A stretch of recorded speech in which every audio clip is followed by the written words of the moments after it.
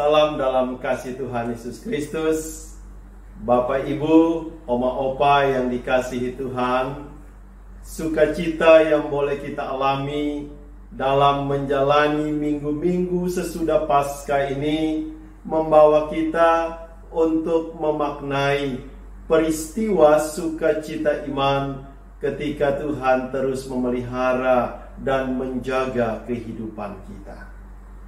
Apa yang menjadi bagian firman Tuhan yang kita baca dari kitab Kisah Para Rasul pasal 13 ayat 13 sampai dengan ayatnya yang ke-37 membawa kita untuk memaknai bahwa kabar sukacita, kabar keselamatan yaitu Injil Tuhan Yesus Kristus terus diberitakan untuk membawa setiap orang menerima keselamatan dari Allah.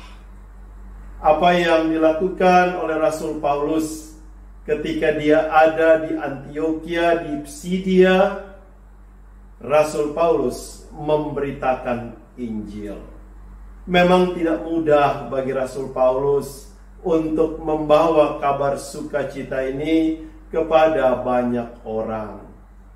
Paulus harus berjalan berkeliling. Paulus harus menanggung banyak pergumulan dan penderitaan supaya Injil atau kabar keselamatan ini dapat didengar dan dapat diterima oleh banyak orang. Apa yang terjadi di Antioquia, di Psidia ini mau membawa kita untuk melihat bahwa tanpa lelah, tanpa gentar, tanpa takut, Paulus terus mewartakan kabar keselamatan. Paulus memakai waktu yang Tuhan sediakan baginya untuk memberitakan Injil pada ibadah yang diikuti oleh orang-orang Yahudi. Memang tidak mudah untuk memberitakan siapa Yesus kepada mereka yang justru tidak bersedia untuk menerima Yesus. Tetapi Paulus memakai kesempatan yang ada, sekecil apa pun kesempatan itu, dipergunakan Paulus untuk menjelaskan siapa Yesus yang adalah Tuhan dan Juru Selamat. Bagi Rasul Paulus, kesempatan yang tersedia sekalipun waktunya sempit, waktunya sedikit, dipakai oleh Rasul Paulus dengan sebaik mungkin.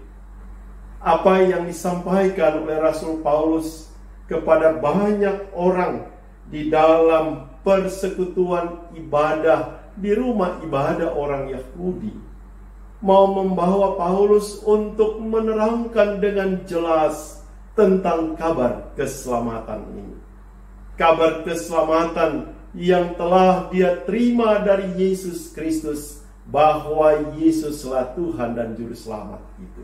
Tidak ada yang lain.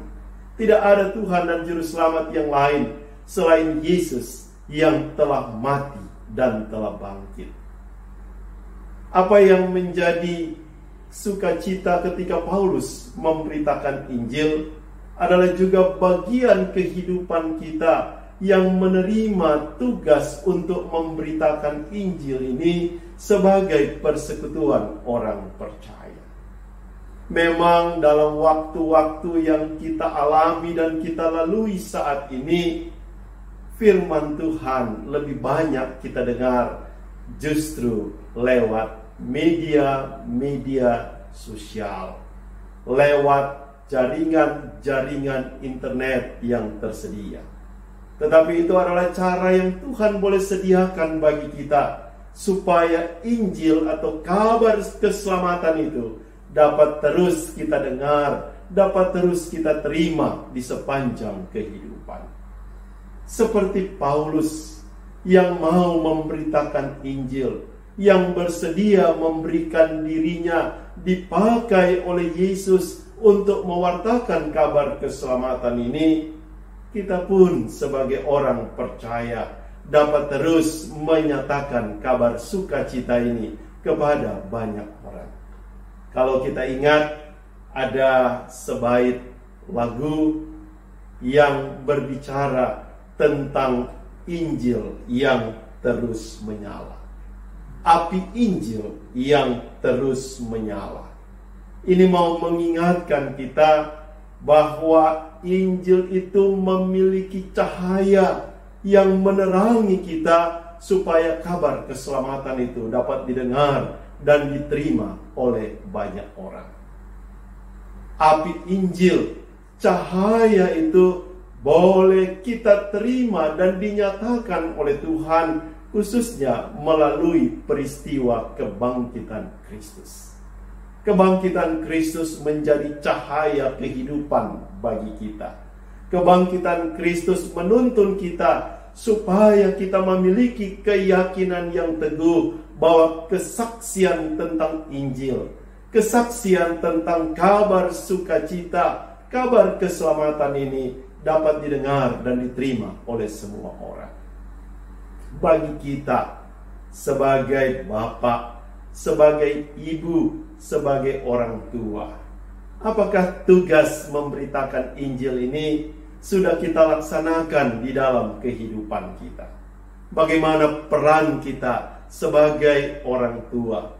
Bagaimana peran kita sebagai guru, sebagai pembimbing di tengah-tengah kehidupan keluarga rumah tangga kita untuk mengarahkan anggota keluarga kita agar mereka terus membaca, mendengarkan dan melakukan Injil ini di dalam kesaksian kehidupan. Kita semua memiliki tugas untuk memberitakan Injil. Kita semua dibekali oleh Tuhan dengan cahaya api sukacita yang membawa kita untuk terus bersaksi tentang kabar keselamatan cahaya kebangkitan. Api itu telah kita terima melalui Kristus yang telah menyatakan kemenangannya. Saat ini, kabar sukacita ini sudah didengar. Kabar sukacita ini sudah terbawa ke mana-mana lewat pemberitaan Injil. Pemberitaan Injil yang kita terima sebagai orang percaya tentunya tidak saja membawa kita sebagai pendengar, tetapi cahaya Injil ini juga menggerakkan kita untuk menjadi pelaku-pelaku firman Tuhan. Dalam kehidupan kita yang kita jalani sekarang ini, benar kita juga diperhadapkan dengan tugas dan tanggung jawab kita untuk menjadi pemberita-pemberita Injil. Siapakah yang menjadi pemberita Injil? Siapakah yang akan membawa berita Injil ini supaya didengar oleh banyak orang? Kitalah yang menjadi pelaku-pelaku pemberita Injil. Bapak, Ibu, saudara-saudara, dan saya adalah orang-orang yang menerima tugas untuk memberitakan Injil. Karena itu, biarlah kita memakai waktu yang Tuhan sediakan bagi kita supaya kita bertekun di dalam firman Tuhan.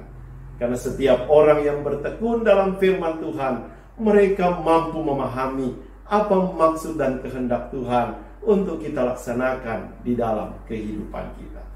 Laksanakanlah tugas untuk membawa kabar sukacita kabar keselamatan ini kepada semua orang. Mulailah dari diri kita sendiri, mulailah dari tengah-tengah keluarga kita. Nyatakanlah bahwa kasih, sukacita, dan damai sejahtera Kristus itulah yang boleh menopang setiap kehidupan supaya kita dapat terus memberikan kesaksian bahwa Yesus Kristus Tuhan, Sang Juru Selamat yang telah mati dan telah bangkit, dia juga yang akan menopang dan menuntun perjalanan kehidupan kita. Sehingga kita boleh mengatakan dalam kesaksian kita bahwa Injil, kabar sukacita, kabar keselamatan itulah yang menjadi kekuatan bagi kita untuk terus menyatakan kesaksian kita tentang Kristus sebagai Tuhan dan Juru Selamat. Selamat bersaksi, selamat memberitakan Injil. Tuhan memberkati kita sekalian. Amin.